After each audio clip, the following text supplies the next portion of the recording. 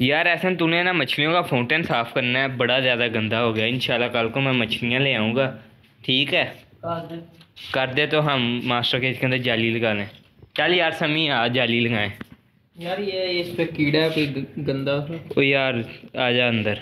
जल्दी लेकर आ जाली। तो यार चूज़े मैंने सुबह के बाहर ही खोले हुए हैं। ये देखें कैसे लेटे हुए हैं। यार इन्हें भी समी बड़ी ज़्यादा गर्मी लगती है। इनका भी कुछ करना पड़ेगा। यार अगर इसे हम लगाएँगे कैसे? नहीं वो मैं लगा लूँगा आराम से उनसे कुछ भी नहीं होगा।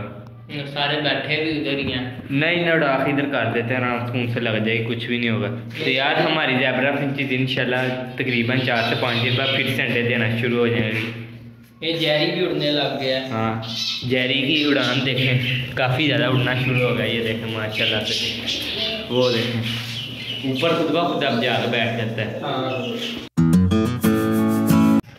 तो यार जाली मैंने लगा दी है काफ़ी मुश्किल से लगाई है। नीचे उतर के खोल। नहीं ये से खुल गई है। वो बंद करना है फिर। बंद करनी है ना।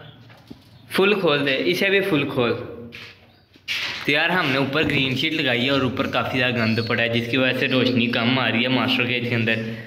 एक फ़ायदा ये होगा कि हवा क्रॉसिंग होती रहेगी और दूसरा फ़ायदा ये है कि रोशनी भी हमारे मास्टर केज के अंदर अब इजाफी होगी ये हमें बल्ब जलाने की ज़रूरत नहीं पड़ेगी। तो जल्दी से निकलता हूँ मास्टर केज में से बाहर। परिंदों को काफ़ी ज़्यादा लगता है गर्मी लग रही है।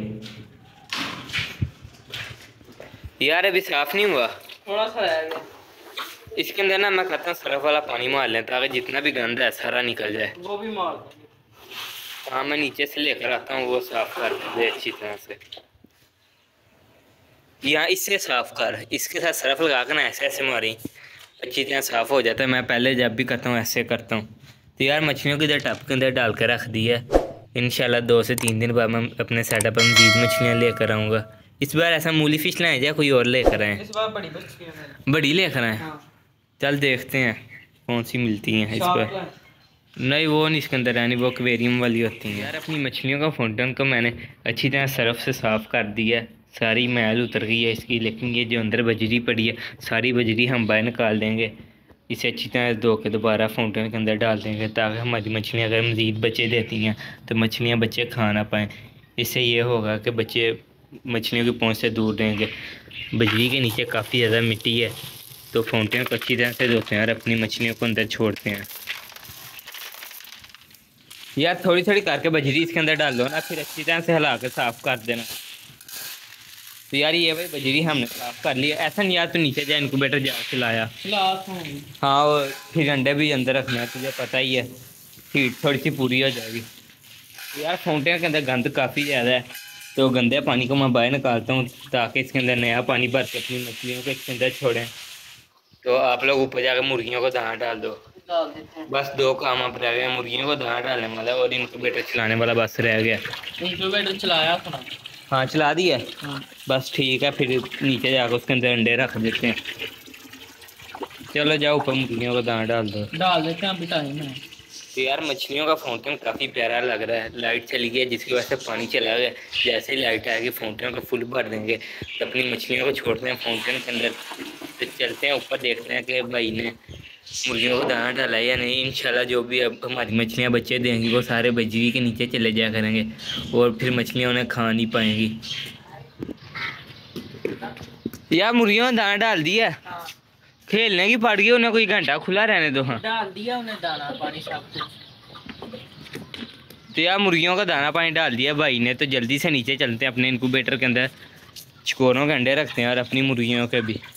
यार इनक्यूबेटर का टेम्परेचर तकरीबन पूरा हो चुका है तकरीबन घंटा हो गया ये चल रहा है। टेम्परेचर इसका बिल्कुल पूरा हो गया तो इसके अंदर तेरह अंडे चकोरों के हैं बाकी चार अंडे हमारी मुर्गियों के हैं। दो दो करके रख देते हैं अंदर। नहीं यार जो रोज़ाना के अंडे आने हैं रोज़ाना इकट्ठे करने हैं इनक्यूबेटर के अंदर रखने के लिए। ठीक है। तो यार ये वजह हमारा मछली का बच्चा माशाल्लाह से काफ़ी बड़ा हो गया है। इसका पानी भी बदल दे। नहीं पानी मैंने कल चेंज किया था तकरीबन अब हफ़्ते के बाद करूँगा। फ़ीड वगैरह मैं इसे रोज़ाना डाल देता हूँ, काफ़ी बड़ा हो गया पहले से। तो इसे इधर रख देते हैं। चल ये दो दो तीन तीन अंडे पकड़ कर ना आराम से रख दे। मेरा हाथ गीला हो गया। आराम से रखी। तो यार इसके ऊपर हमने तरीक लिखी हुई है। हमें पता चल जाएगा कि किस तरीक को बच्चे निकलने और एक साइड पे हमने लाइन लगाई है। तो रोज़ाना इनकी साइड हम चेंज कर दिया करेंगे। यार दो बार इसकी साइड चेंज करनी है। ठीक है।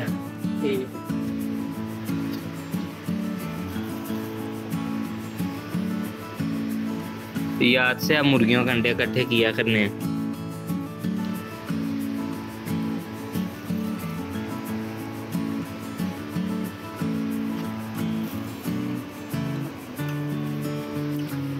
तो यार इसकी लाइट चल चुकी है साठ साठ वाट के हमने इसके अंदर बल्ब लगाए हैं। यार अंडे थोड़े आगे करके रख। आराम से रखी ये ना होके टूट जाए। चकोरों के अंडे मैं पंद्रह लेकर आया था, दो मेरे से टूट गए। तो बाकी तेरह रह गए, चार मुर्गियों के अंडे हैं। तो इंशाल्लाह इसमें से तकरीबन इक्कीस से बाईस दिन बाद बच्चे निकल आएँगे।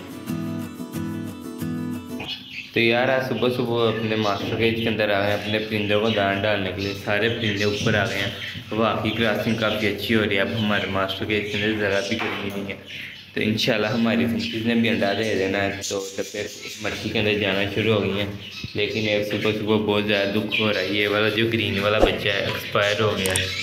ये देखो, यार ये पकड़ना उससे बाहर निकल यार, काफ़ी ज़्यादा खुशी हो रही थी कि फ़ीमेल इसे पाल रही है तो बड़ा हो जाएगा, लेकिन बेचारा एक्सपायर हो गया। तो यार, कल हमने अपना फ़िश पॉन्ड तो अच्छी तरह साफ़ कर लिया था लाइट चली गई थी जिसकी वजह हमने पानी से फुल नहीं भरा तो मछलियों में दाना वगैरह डाल दिया। दाना वगैरह खा लेते हैं तो चलते हैं ऊपर।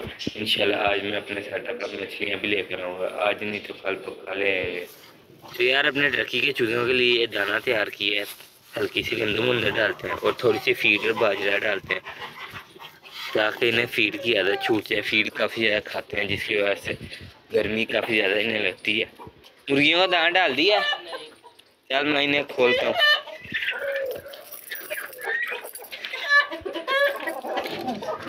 यार, मुर्गियों के पिंजरे में से बदबू काफ़ी ज़्यादा आ रही है। पता नहीं क्या मसला है, जिसकी वजह से बदबू आ रही है, देखता हूँ। तो यार, बस बीठों की बदबू है। अंडा कोई भी नहीं आया पानी ने सारा ख़त्म कर दिया, पानी ने डाल देते हैं।